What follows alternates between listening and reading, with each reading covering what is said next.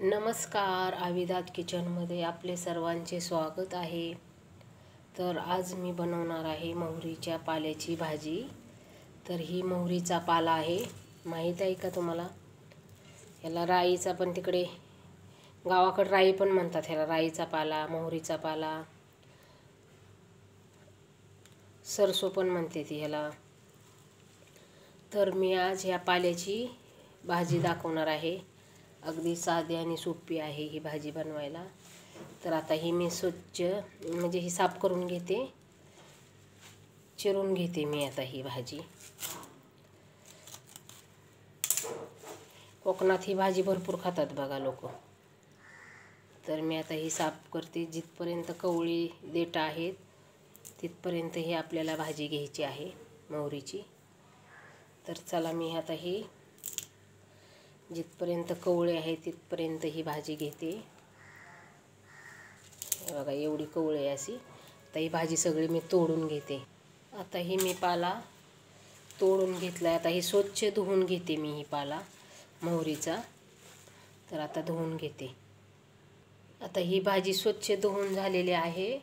आता याला मी चिरून घेत आहे. आता हे चाकूने चिरायचं आहे. तर मी चिरून घेते भाजी. आता मी चिरून घेत आहे ह्याच्यावरच चिरून घेत आहे मी. आता ही भाजी आपली स्वच्छ धुतलेली आहे आणि आता मी ह्याच्यावरच चिरून घेते किचन कट्यावरच. तर आता आपली भाजी चिरूया.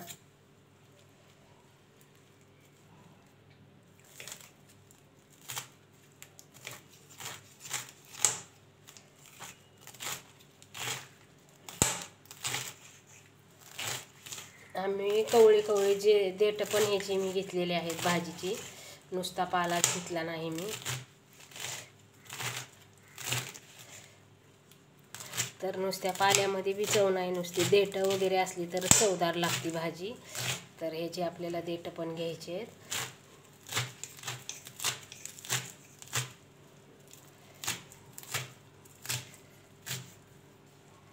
अशी बारीक चिरून घ्यायची.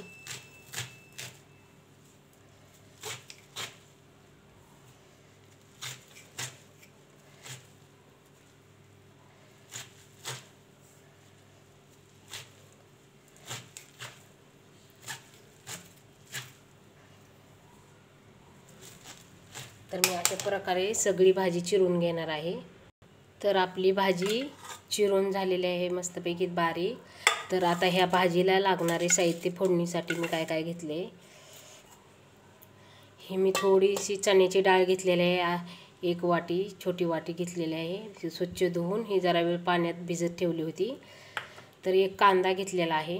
नंतर ओलं खोबरं घेतलं आहे थोडंसं मी एवढं एवढं नंतर सटाट आठ दहा मिरच्या घेतल्यात बारीक चिरून घेतलेत आणि मीठ आणि फोडणीसाठी तेल. तर चला आपण फोडणी देऊया आता.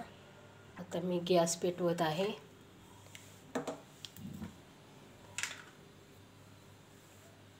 त्याच्यामध्ये मी तेल घालते.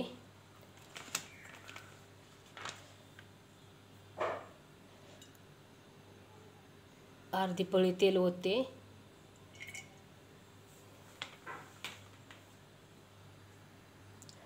आता याच्यामध्ये कांदा घालते हे मिरच्या घालते.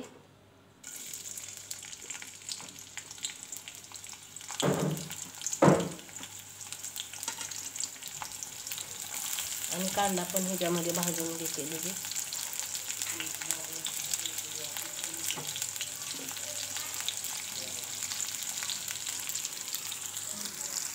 कांदा चांगला लाल भाजून घ्यायचा.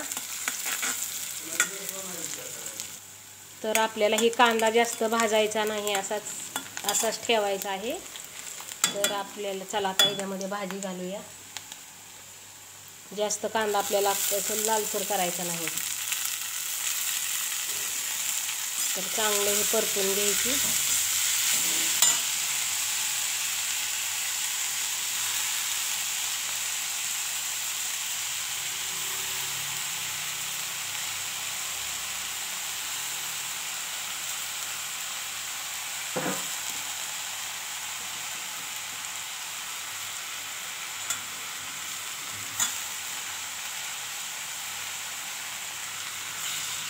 चांगली अशी परतून घ्यायची भाजी. आणि त्याच्यामध्ये आपल्याला लगेच ही डाळ घालायची आहे.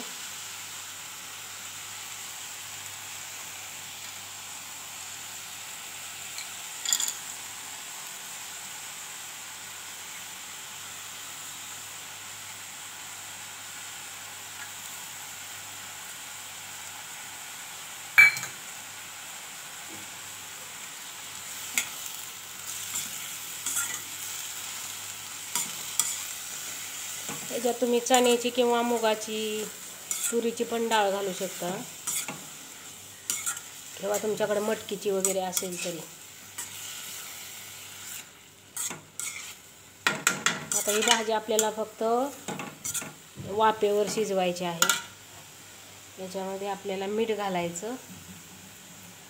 मीठ चवीनुसार घाला.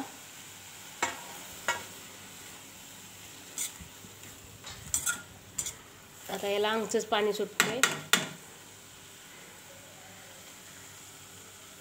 आता हे आपल्याला झाकून ठेवायची आहे भाजी.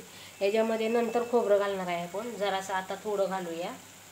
थोडंसं घालूया आता आणि नंतर बाकीचं घालायचं आहे. तर आता ही भाजी आपली पाच दहा मिनटं झाकून ठेवायची. आणि शिजू द्यायची पंधरा मिनटं. बघूया. चला भाजी झाली का बघूया.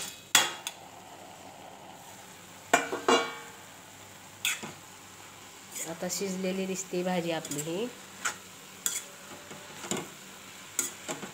आम्ही जास्त पण भाजी अशी गाळ करत नाही आम्हाला आवडत नाही जास्त गाळ शिजलेली भाजी. तर आम्ही जराशीच नुसतं वाफेवर शिजवतो.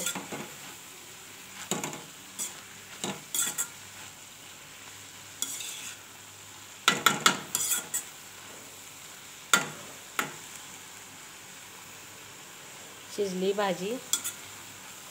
अजून एक पाच मिनटं आपण ठेवूया. थोडं पाणी आटायला पाहिजे.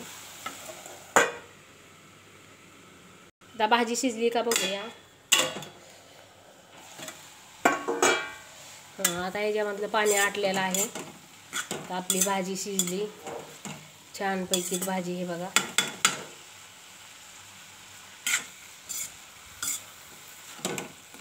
तर याच्यामध्ये आपल्याला परत खोबरं घालायचं.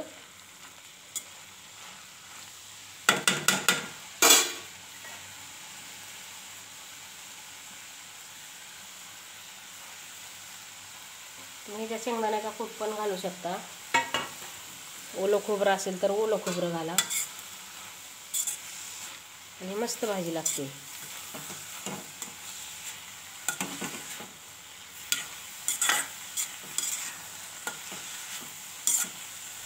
तर आपली भाजी झालेली आहे आता ही. आता गॅस बंद करून घेऊया.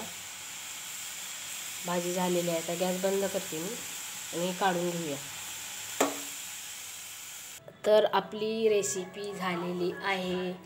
तर मस्तपैकी भाजी झाली बघा आपली ह्याची मोहरीची. तर ही भाजी तुम्ही माझ्या पद्धतीची नक्की करून बघा साधी आणि सोपी. तर ही भाजी तुम्ही भाकरीबरोबर खाऊ शकता. ही छान भाकरीबरोबरच छान लागते भाजी खायला. तर चला कशी वाटली ती कमेंटमध्ये मला सांगा. लाईक सबस्क्राईब करा.